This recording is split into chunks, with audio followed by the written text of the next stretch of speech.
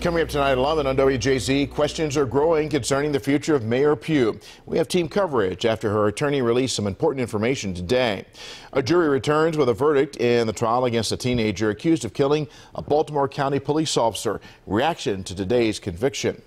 Bald eagles found dead in Maryland. Wildlife officials say poison is to blame when investigators know about the toxin ingested by the birds. Plus, the International Space Station goes dark, the power problems on board, and an update on the crew. Tune in for these stories and much more tonight at 11 here on WJZ.